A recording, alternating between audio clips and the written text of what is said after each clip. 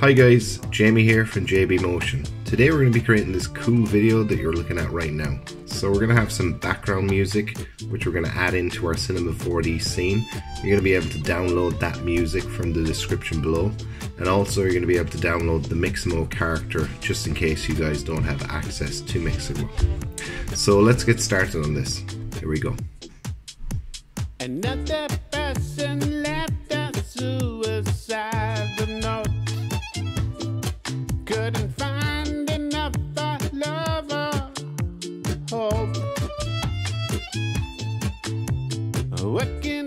Guys, so the first thing we want to do is find a suitable dance routine for our uh, song. So let's just open it up so we can um, hear it as we're searching. Jump into Mixamo. I'm gonna include these characters, whatever ones I choose, in the description below, just in case you guys don't have access to Mixamo. And I've already found one that looks really well uh, samba samba dancing. So as you can see he's not dancing to the beat. So I played around with this and 56 is a good overdrive to set this on.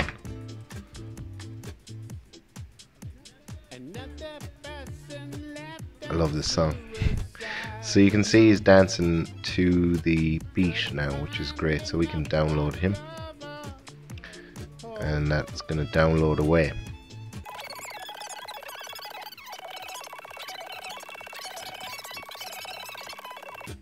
Okay, so that's finished downloading. I'm just going to grab that out of my downloads and I'm going to put it into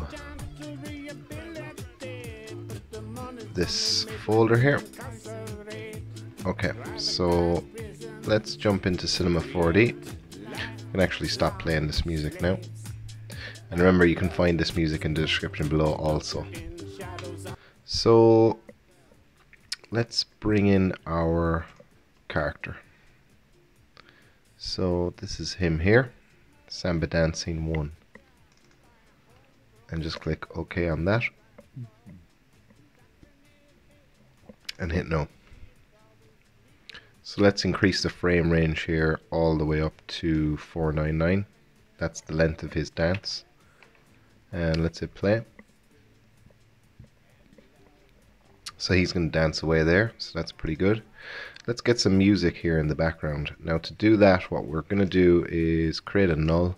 And on this null, we're just going to set a random keyframe. So I'm just going to set one here in the X coordinate and now if I press shift F3 on my keyboard uh, I can click on this null and go to frame go to view go to create and go to add special tracks sound.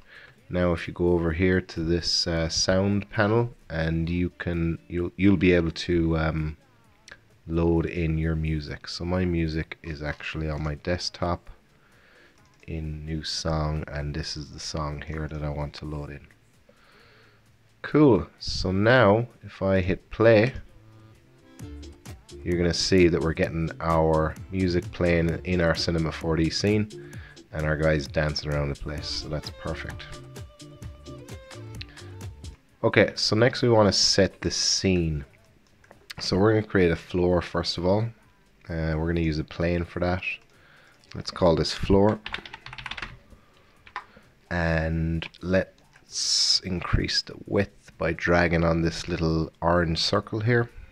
We can go nice and far to about 2217 centimeters. And let's increase the depth on that along the z-axis to about 668 or 670 around that uh, depth on the z-axis. And then we want to create a backdrop. So create another plane. We can actually duplicate our floor hold down control and drag and then we can just bring that up above our floor. Because that's where a backdrop should be. I'm just going to call this backdrop. And I'm going to hit R on my keyboard and rotate this 90 degrees. I can hold down shift to lock that to increments of 10. So minus 90 degrees on that. And I'm going to hit E on my keyboard, bring this back here and up a little bit to about there. Okay. So now we're going to create our backdrop. So let's check the size of this backdrop.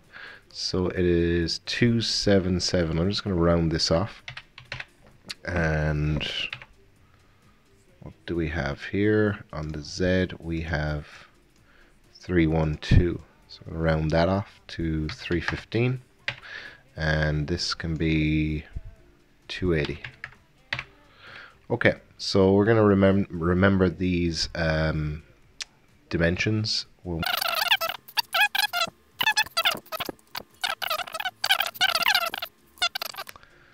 go into my backdrop here, go into my object tab, and I'm going to round this off here to 22000. Sorry.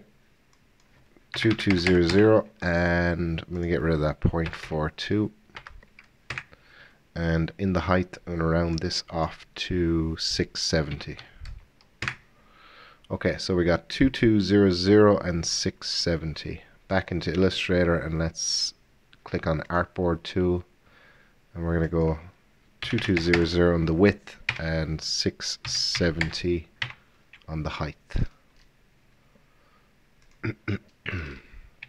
So let's control zero to uh, zoom out there a bit and center our artboard. And now what we're going to do is we're just going to draw in our backdrop. So I'm just going to go for some random shapes here and I'm going to keep in mind that my camera is going to be about here for our music video. So we're only going to see this portion of the um, of the backdrop. So I'm going to keep that in mind when I'm drawing my backdrop in Illustrator. So my center point is going to be here. So, okay, so this is my center point. And I know that because I created a, a rectangle and just said a horizontal line center. So I want to create a triangle so I'm going to go to my polygon tool. I'm just going to click here and set the sides to 3 and hit enter. Now if I just hold down shift and alt and drag that out, it's going to increase the size of that and, and um, keep the aspect ratio. So I want to actually widen this out. I'm holding down alt so I'm widening it from each side. And I'm just going to bring it down. I'm hitting A on my keyboard for direct selection tool and I'm just dragging these points up using my um, arrow keys on my keyboard. Just going to bring that right up to the bottom line there. And I want to make it a little less wide, so I'm going to click on it, hold down Alt, and make that a bit slimmer. Okay, Cool. So I want to duplicate this, hold down control and then go CF on your keyboard. That's going to duplicate it and put it in the front. I'm just going to hold down shift and drag this up.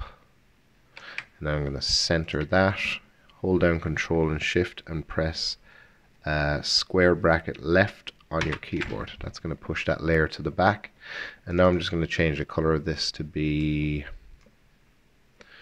this color here. So it's 64, 157 and 173 on the RGB values. Cool. Okay. So I'm going to repeat that step. I'm going to hold down control, press CF, and I'm going to drag this up to about there. And I'm going to center it, hold down control shift.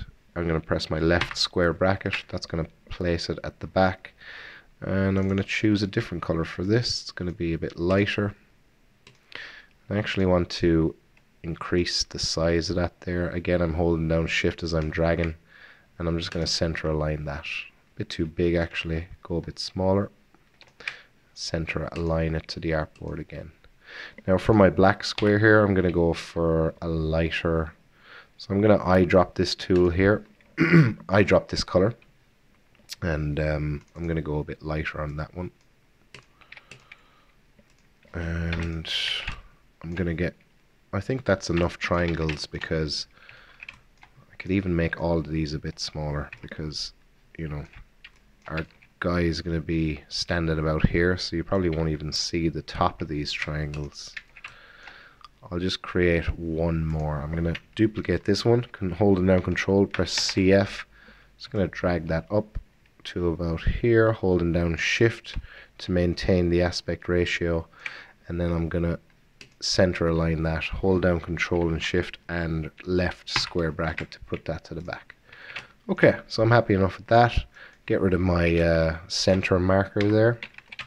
And I want to just create a rectangle that's going to be the same size as my artboard and control shift left excuse me left square bracket press I on your keyboard to open your Always forget the name of that. Eyedropper tool and just make sure that it's the same color as your as your last triangle there. So that'll blend in there nicely.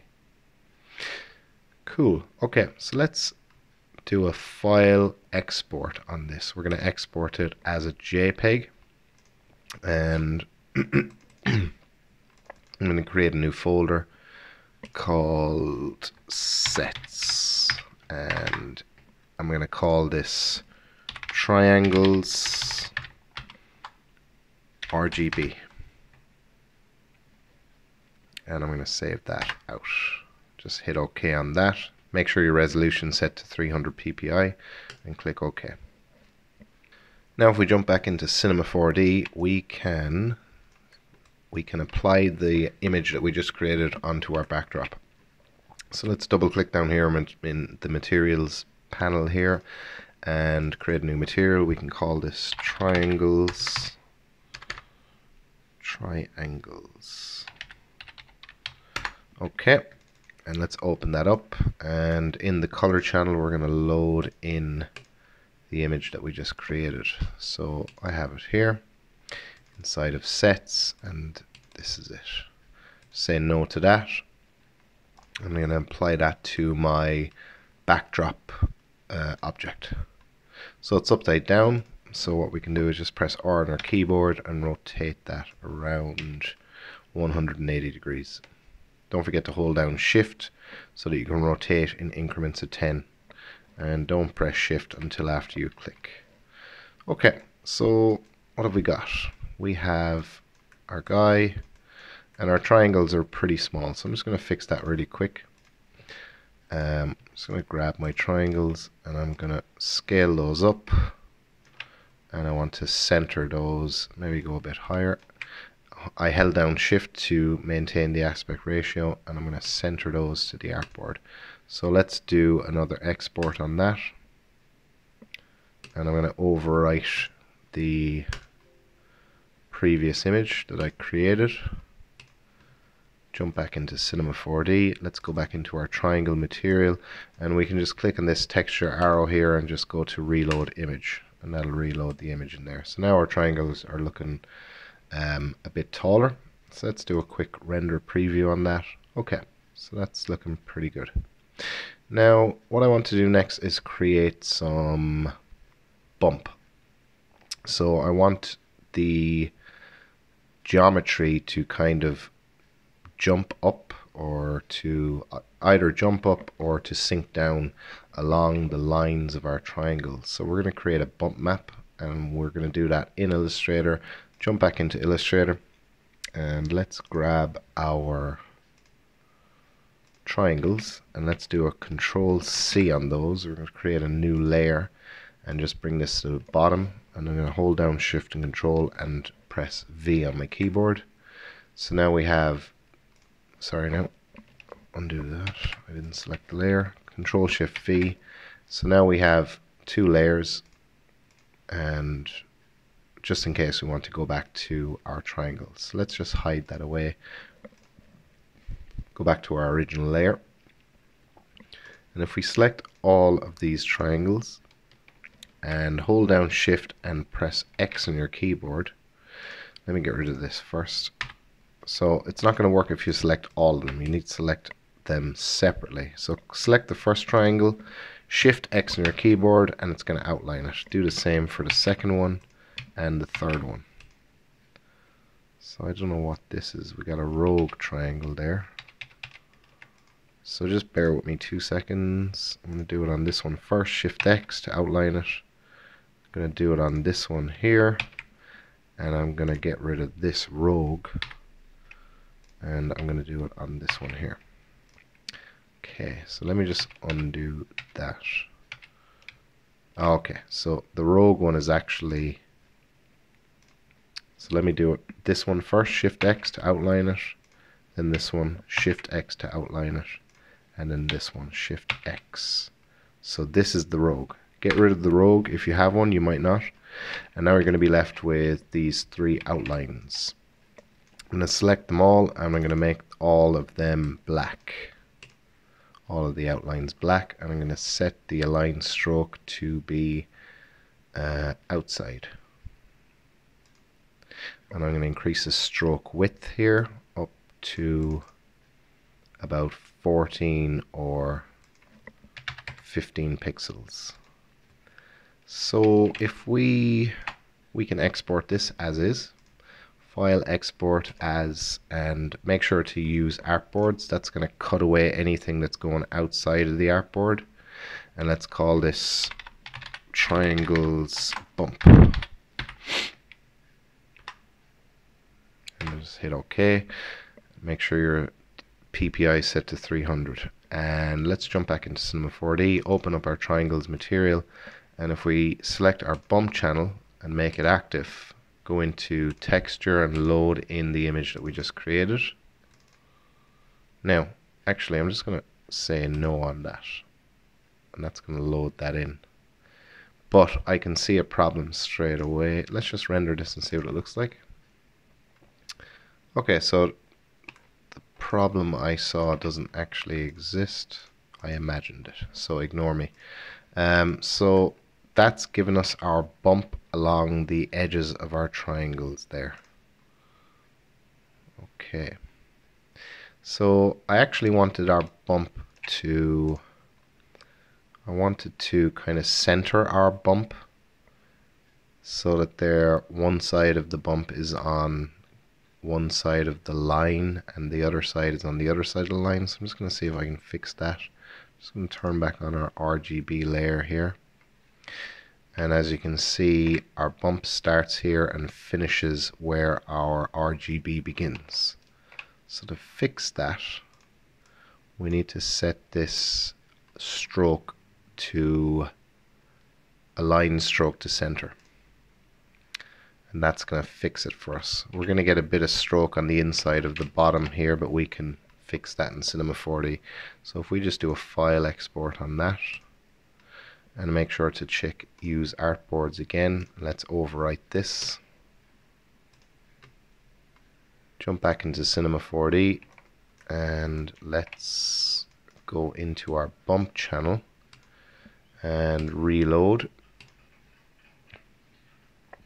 now if we render this out, okay, so it's not working for us. Let's actually load the image altogether. Okay, so we have two because when we saved it, it actually added a 0101, so this is the one we're going for. Let's load that in and say no. Okay, so if we render this, now you can see that we have half the bump on one side of the RGB uh, where it changes color and the other half on the other. So I'm going to set the strength here to be minus 60. I'm going to render that again. And now our bump is actually, um, it's set to negative. So it's actually cutting into our plane as opposed to forcing our plane to protrude outwards. Okay, so what I want to do next is create a material for my floor create a new material, call it floor, and I'm going to set the color of this to be, I'm actually going to leave it at the default. Drag this onto my floor and let's do a render preview on that. Okay, so we've got to create some lights. So I'm going to create a light object here. I'm going to call it key and I'm going to set the shadows here to be area. And I want to set the, in the shadow tab, set the density of the shadows to be 80%. and I want to bring this up along the y-axis and to the left along the x. And I'm actually going to bring it I'm going to zoom out and bring it up a bit further. So in my coordinates tab in my light I'm bringing it up to 350 on the Y and I also want to bring it back along the Z to about 130 sorry minus 130 on the Z maybe even back a bit further to 160 minus 160 okay so now if we do a quick render preview on that so we need to so we're getting our nice shadows on the floor now we need to fill these dark areas. So we're going to do that with a fill light. So I'm going to just hold down control while hovering over the Z uh, axis here. It's going to drag along and that's going to duplicate the light. That's going to get rid of our darker areas that's being produced by the shadows of this light. So in our key 1 we're going to rename that to fill and we're going to go into our shadow and we're going to turn that off, set it to none, and we're going to go to general and set the intensity to 60%. Now let's zoom back in. I'm actually going to create a camera to save me having to recenter our character every time. So I'm going to go for, let's see, I'm going to create a camera and make it active. In the coordinates tab, I'm going to zero out the um, heading pitch and banking and I'm going to bring it down along the Y to about 90 centimeters maybe 92 and I'm going to leave it as leave it as is on the X and the Z okay so if we render that now so now we're getting our nice shadows and our fill light is kind of lightening up those darker areas. So we need one more light. I'm going to make sure that our camera here has a protection tag on it so that we're unable to move it. And I'm going to deactivate the camera and I want to create a rim light now. So I'm going to grab this fill and I'm going to duplicate it by hovering over this little green triangle thingy and holding down control I'm just going to drag this to behind our subject. So if I middle mouse click and go into my top view, it's going to be just behind him there. And if I go back into perspective and drag this up so it's slightly higher than our key and our fill. I'm going to rename this light to be rim and yeah I'm going to leave it at that Okay, so let's hop back into our camera, do a render preview on that. Okay, cool. So I want to set up global illumination uh, for our scene to brighten it up and to give it a more realistic lighting. Um, so I'm going to create a sky object and I want to go into my content browser, go to presets, prime, uh, example scenes, go back actually one and go to presets again, light setups, HDRI, and I'm going to use the photo studio. So if I just drag this to the objects tab here and then I can drag it and leave it over my sky object, that'll apply it there. And go into our render settings and let's turn on global illumination.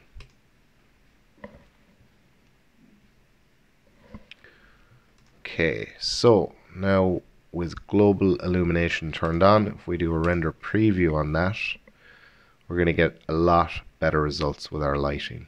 So that's looking pretty good. Just want to check that his foot is actually touching the floor. So we have to deactivate our camera because it's protected from moving. And I'm going to make sure that this guy is actually touching. Yeah, he is definitely touching the floor. Reactivate my camera and I want to turn on ambient occlusion. So let's do a render preview on that. So now we're getting those nice contact shadows here where his foot is. Um, but I'm not liking how high this contact shadow where our backdrop's meeting our floor. It's going up very high. So I want to reduce the length of that. So go into your render settings, go to ambient occlusion. Let's set the maximum ray length to be about 10 centimeters. Now let's do another render preview on that. Okay, so that's looking a bit better. I want to put in a skirting board here in the background as well.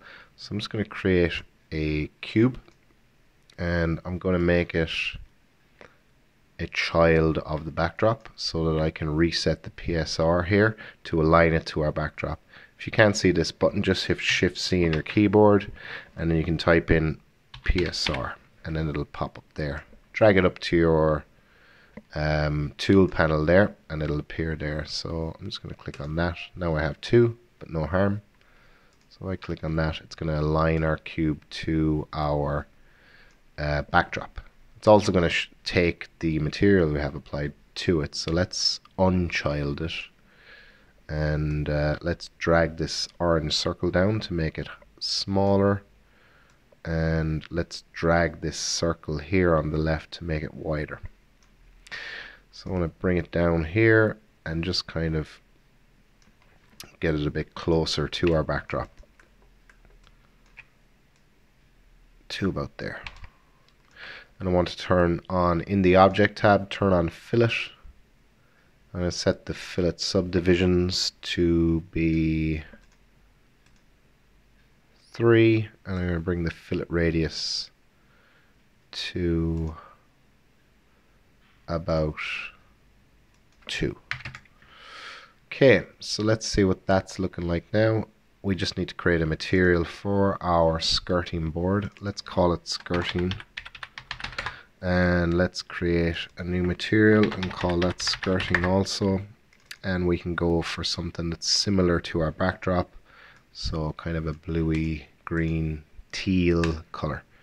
Let's apply that to our skirting board and do a render preview on that. Okay, so that's looking pretty good. Let's see if we can reduce the jaggedness of our edges here.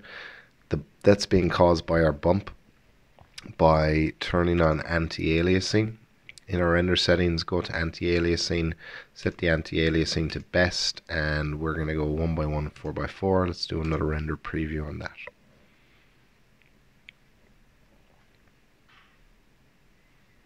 Okay, so I'm happy enough with how that's looking. Um, let's do a play and see what this is looking like right now.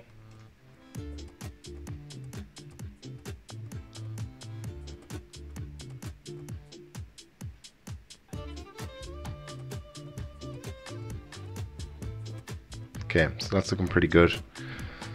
This guy's rocking out to this wicked sound. Now, what you can do is you can basically go to back to Mixamo and you can find different dances and you can go into Illustrator and create different backdrops and then you can go into After Effects and you can make a cool composition made up of several dances, several backdrops and several um, yeah several dancers several backdrops all with this one song playing in the background. And this song is about six minutes long so you'll be at that for quite some time. Um, you'll be able to mix it up with loads of different materials. So for example you could have this guy in one scene and he'd be dancing away. And then you could set up another scene and you could create a different material for this guy. So you could turn on transparency go for glass and you could apply that material overwrite the existing one on your character's geometry. And if you render that out you have a completely new character. Um, you just have to change the backdrop and that's easily done inside of Illustrator. So the possibilities are endless And if you guys would like to see me continue on with this video and create some more characters and some more backdrops, just let me know in the comments below. Um, and I'd be pleased to oblige. But uh, I'm going to leave it at that for now, guys. Hope you learned a lot. Just one final thing that I forgot to mention, guys, is that um, if you play this out, um, your frame range is only going to go as far as 500 frames, I think it is. So if you want to increase that, you're going to want to increase it here. So we can set it to, let's say, 2000 frames and drag that out. Now our dancer will, will dance, but he's going to stop at 500.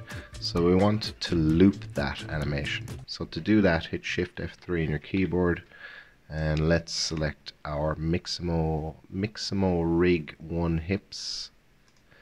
And over here in your properties you're going to be able to set the after here to repeat. And set the repetitions to 50 that should be enough to loop over and over until the end of the the end of the 2000 frame range anyway. So if I just close that down and now if I bring it back past 500 and hit play now our guy's going to dance around on a loop. So uh, just wanted to get that in there at the end. Okay guys, thanks again for watching.